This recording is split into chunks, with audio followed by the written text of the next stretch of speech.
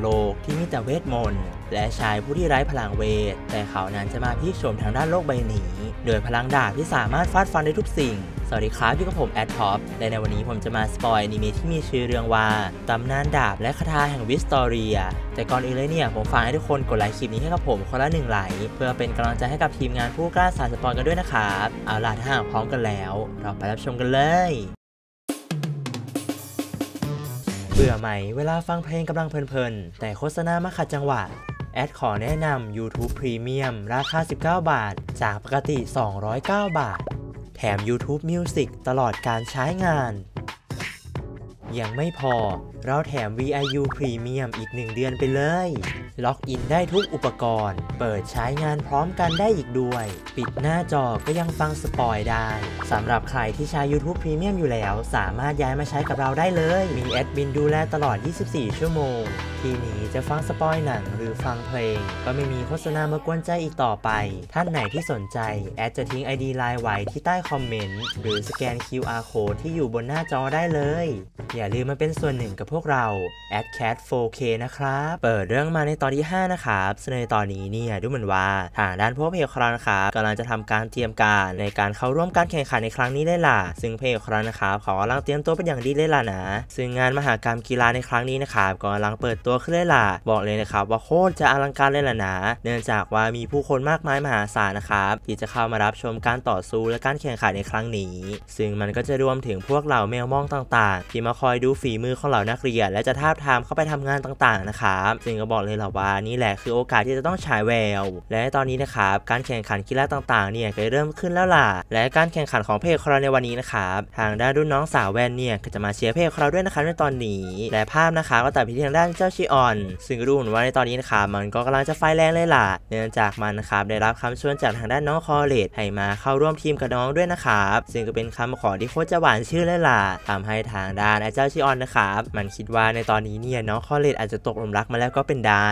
แต่ทว่าเมื่อมาถึงนะครับก็ได้พบกับทางด้านเพจของเรา ซึ่งเขาเนี่ยคือรู้ความจริงแล้วหละว่า แท้จริงแล้วนะครับในทีมเนี่ยมีเพจของเราอยู่ด้วย ซึ่งชิออนนะครับมันก็โกรธใหญ่เลยล่ะนี่มาล้อเล่นอะไรกันแน่นี่ยแต่ทว่าในจังหวะนั้นเองครับทางด้านเจ้าจูเลียตเนี่ยมันก็ได้เข้ามา ซึ่งมันนะครับก็จ้องเขม่งไปที่เพจของเรา ซึ่งเพจของเราเนี่ยก็จ้องไปคืนนะครับทำให้ชิออนรู้เลยนะครับว่าในตอนนี้เนี่ยข่าวนั้นไม่อยู่ในสายตาเพจของเราเลยด้วยซ้ำทำให้เขานะครับยิ่งโกรธเข้าไปใหญ่ และสาเหตุที่ชวนทางด้านชิออนเข้ามาร่วมทีมนะครับก็เนื่องจากว่าการแข่งขันศึกในครั้งนี้นะครับในทีมเนี่ยจะต้องมีหน่วยกิจรวม 21,000 หน่วยกิจถึงจะเข้าร่วมได้นะครับและถ้าเพจของเราจะเข้าร่วมได้ละก็ก็ต้องชวนทางด้านชิออนนี่แหละนะครับและแล้วหลังจากนั้นครับในตอนนี้เนี่ยก็ถึงเวลาแล้วล่ะสำหรับศึกจริง แล้วก็ศึกหลักในการแข่งขันในครั้งนี้นะครับซึ่งก็จะเป็นทางด้านการแข่งขันที่เพจของเราเนี่ยเข้าร่วมนั่นแหละนะทางด้านผู้ประกาศนะครับก็ได้บอกให้ทางด้าน พวกเราเอลนะครับได้ทำการใช้ฝ่ายภูตศักดิ์สิทธิ์ในการสร้าง field หรือว่าสนามการแข่งขันนะครับ ซึ่งมันก็มีแบ่งออกเป็นหลายธาตุบอกเลยนะครับว่าเหล่าเอลฟ์เนี่ยคือมีพลังเวทที่มหาศาลเลยล่ะนะครับพวกเธอนั้นทำการสร้างทางด้าน field ต่างๆ ขึ้นมา ซึ่งมันก็มีทั้งเขตภูเขาไฟ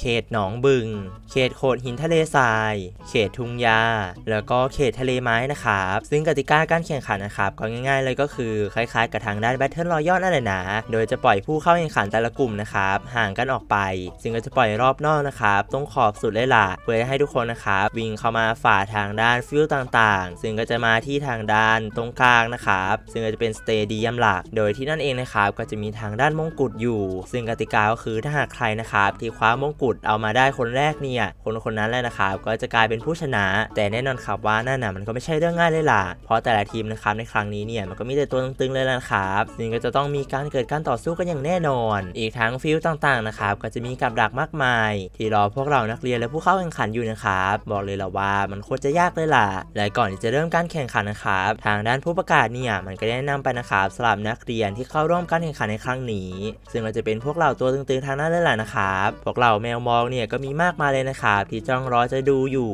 และก็เตรียมที่จะเชิญทาทามต่างๆนะครับและดูเหมือนว่าคนที่น่าจับตามองก็คือทางด้านเพจของเรา ซึ่งทุกคนเนี่ยก็ต่างตกใจเลยแหละนะครับที่เพจของเราเนี่ยมันกล้าเข้ามาร่วมด้วย ซึ่งกองเชียร์และผู้ชมต่างๆนะครับก็ต่างบูลลี่เพจคราวใหญ่เลยล่ะแล้วก็ต่างด่าทอใหญ่เลยนะครับพร้อมก็บอกว่านี่อย่าทำให้ทางด้านทุกคนเนี่ยอับอายล่ะ เป็นแค่เลนเนอร์ผู้ไร้ความสามารถทำไมถึงกล้าลงแข่งกันนะซึ่งทุกคนนะครับก็ต่างประณามใหญ่เลยล่ะนะครับแต่ทว่าทางพระเอกเราเนี่ยก็ไม่สนใจหรอกนะและแล้วนะครับการแข่งขันเนี่ยก็เริ่มต้นขึ้นแล้วล่ะให้ทุกคนครับก็ไปเตรียมตัวและประจำที่ ซึ่งเมื่อพระเอกเรานะครับได้เข้าสนามมาเนี่ยเขาได้พบกับทางด้านอาจารย์วักเนอร์ซึ่งอาจารย์วักเนอร์เนี่ยก็ถึงกับตกใจเลยล่ะว่าเอ๊ะทำไมนายถึงมาเข้าร่วมการแข่งขันนี่ล่ะวิลฉันบอกแล้วนี่ว่า นายน่ะอย่าเข้าร่วมเลย แต่ทว่าเพจคราวก็ได้บอกไปนะครับ เขานั้นน่ะไม่สนใจพวกคำด่าคำอะไรหรอกนะ เพราะในตอนนี้เนี่ยเขานะครับจะต้องชนะอย่างเดียว ซึ่งเพจครานะครับเขามีเป้าหมายชัดเจนเลยล่ะ ทางด้านอาจารย์วักเนอร์นะครับเขานั้นก็ไม่กล้าขัดวิวเลยล่ะ แล้วก็ได้ปล่อยตัวเขาไป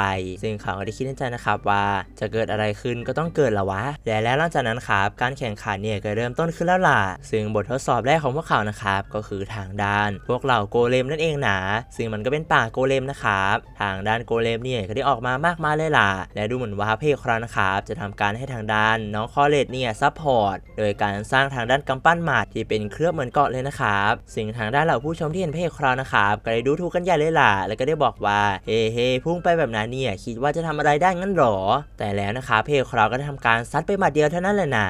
พวกโกเลมต่างๆเนี่ยก็ได้หายไปหมดเลยนะครับและทีมที่ฝ่าทางด้านพวกเหล่าโกเลมมาได้ทีมแรกเนี่ยก็คือพระเอกเรานะครับซึ่งก็เป็นทีมที่นำโด่งไปเลยล่ะบอกเลยนะครับว่าทุกคนในตอนนี้เนี่ยถึงกับตกใจในพลังเพจคราวเลย นี่มันเกิดอะไรขึ้นกันแน่เนี่ยซึ่งทุกคนนะครับก็ต่างอึ้งกันเลยล่ะนะ ซึ่งกฎในครั้งนี้นะครับก็ดูเหมือนว่าห้ามพกทางด้านอาวุธภายนอกเนี่ยเข้ามาแข่งขันด้วย ซึ่งทางด้านเพจคราวเนี่ยก็ได้แก้โดยการให้ทางด้านน้องคอเลนนะครับเป็นคนสร้างทางด้านอาวุธเสริมให้ ซึ่งมันก็จะมาจากทางด้านเวทมนต์นั่นแหละนะครับถือว่าไม่ผิดกฎซึ่งในตอนนี้นะครับทางด้านชิออนที่เห็นพระเพจคราวเนี่ยเหนือกว่าเขาแบบนั้นนะครับเขาได้คิดนะว่าทางที่เมื่อก่อนเป็นเพียงแค่ไอ้หลอยโทษเท่านั้นทำไมตอนนี้ถึงเก่งขนาดนี้กันล่ะซึ่งไม่ว่าทางด้านชิออนนะครับจะมองไปที่พระเอกเรามากแค่ไหนเนี่ยเขาได้เห็นพระเอกเรานั้นเฉิดฉาย แล้วก็นำโด่งเขาไปไกลเลยล่ะทำให้ด้านชิออนในตอนนี้นะครับเขาเนี่ยก็ได้คิดนะว่าทั้งที่ฉันอุตส่าห์พยายามฝึกฝน เพื่อที่จะเก่งขึ้น แม้เพียงแค่เล็กน้อยก็ยังดี แต่ทำไมแกถึงวิ่งนำโด่งฉัน แล้วก็แซงฉันไปแบบนั้นล่ะอย่ามาล้อเล่นกันน่ะ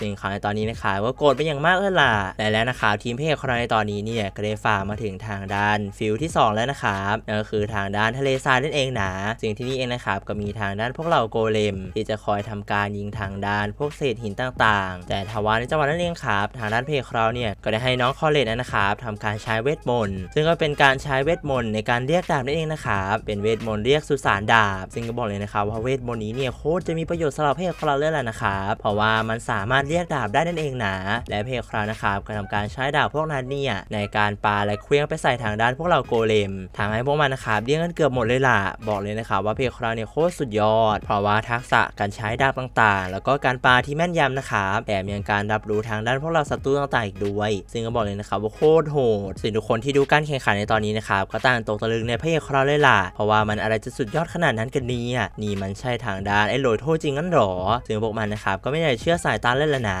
และทางด้านอาจารย์เอ็ดเวิร์ดนะครับเขาได้เสริมขึ้นไปว่า การเคลื่อนไหวของผู้ใช้เวลามานานในดันเจียน และก็ทักษะต่างๆที่ค่อยฝึกฝนตนเองถึงเขาจะรู้สึกเจ็บใจแล้วก็ไม่ค่อยชอบเพจคราวก็เถอะนะครับแต่ถ้าว่าเพจคราวนี่มันก็สุดยอดจริง ๆ ในตอนนี้นะครับทางด้านรุ่นน้องแวดเนี่ยน้องนะครับก็ต่างเชียร์ทางด้านเพจคราวใหญ่เลยล่ะรุ่นพี่วิวพยายามเข้านะคะซึ่งน้องนั้นนะครับก็วิทวัดใหญ่เลยล่ะทุกคนนะครับต่างมองน้องเลยนะที่เชียร์ทางด้านเพจคราวซึ่งในตอนนี้เองนะครับทางด้านพวกเราเพจคราวเนี่ยก็จะเป็นทางด้านกลุ่มนำโด่งที่ 1 อยู่นะซึ่งทางด้านผู้ประกาศนะครับก็ประกาศให้ทางด้านทุกคนเนี่ยได้รับทราบ และทุกคนนะครับก็ต่างคิดนะว่า นี่พวกเราจะช้ากว่าเจ้าหน่วยโทษนั้นไม่ได้หรอกนะต้องรีบแล้วล่ะซึ่งพวกมันนะครับก็ต่างโชว์โหดโชว์เท่กันใหญ่เลยล่ะนะพวกมันนะครับรีบทำการวิ่งที่จะแซงทางด้านเพจคราวเลย แต่แน่นอนครับว่าพวกกลางเดี๋ยวคือพวกกลางนั่นแหละนะพวกมันนะครับได้ติดกับดักต่างๆ นานาซึ่งก็บอกเลยครับเรียบร้อย พวกนี้นะครับโดนจัดการไปหมดเลยล่ะและแน่นอนครับว่ามันก็มีหลายกลุ่มเลยล่ะนะครับแน่นอนครับว่าผู้ที่จะแข่งขันในครั้งนี้เนี่ยและรอดกลับมาได้นะครับก็จะมีเพียงแค่ผู้ที่แข็งแกร่งเท่านั้น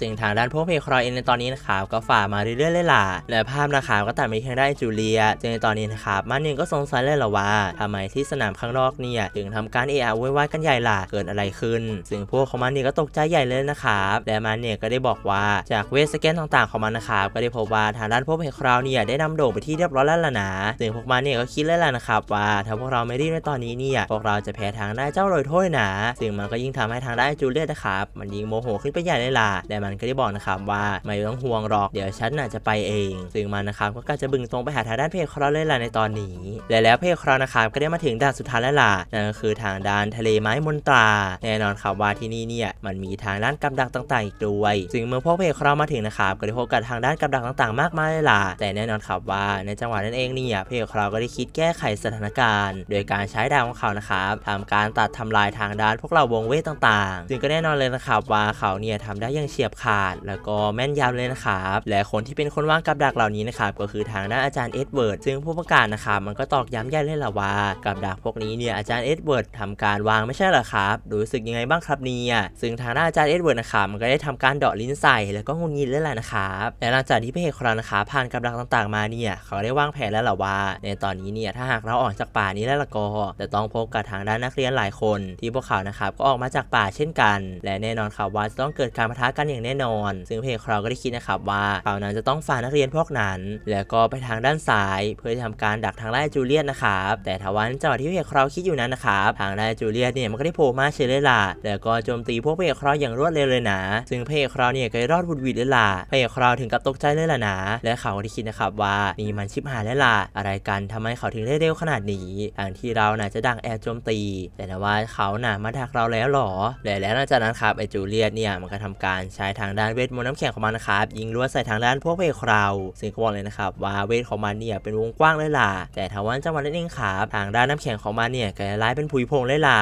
ซึ่งทางด้านชิออนนะครับมันเนี่ยก็จะเอาจริงแล้วล่ะนะมันจะทำการเบ่งพลังไฟออกมาซึ่งก็บอกเลยนะครับว่าโคตรเทโคตรโหดซึ่งทางด้านชิออนนะครับมันก็ได้บอกว่านี่จูเลียตแกที่ใส่หัวไปซะมันเกะกะและเขานะครับก็ทำการได้เวทมหาศาลและเวทใหญ่เลยล่ะนะ ซึ่งการโจมตีนั่นเองนะครับก็จะมุ่งเป้าไปที่ทางด้านเพคราวแล้วก็ไอ้เจ้าจูเลียด้วย ซึ่งมันก็เป็นพลังเวทมหาศาลเลยล่ะนะครับทางด้านเพคราวเนี่ยก็ถึงกับงงเล่นล่ะนะว่าทำไมนายถึงเล็งมาทางนี้กันล่ะ ซึ่งทางด้านน้องคอเลนนะครับก็ทำการบอกให้วิวเนี่ยหรือว่าเพคราวนะครับได้ทำการหลบไปซะแต่ถ้าว่ามันก็ไม่ทันแล้วล่ะนะน้องคอเลตนะครับได้ทำการใช้ทางด้านเวทดินของน้องนะครับในการปกป้องพระเอกเราจากไฟ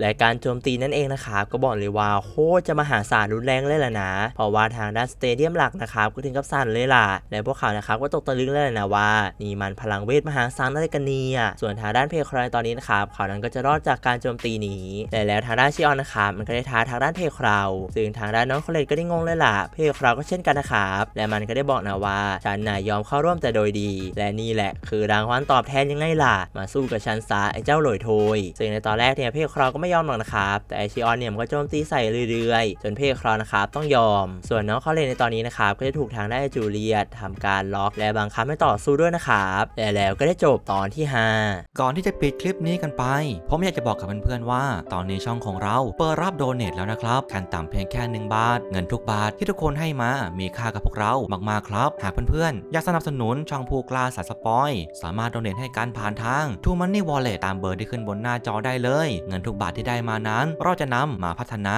ช่องของเราและจะมอบความสุขให้กับทุกคนแบบนี้ต่อไป ขอบคุณครับ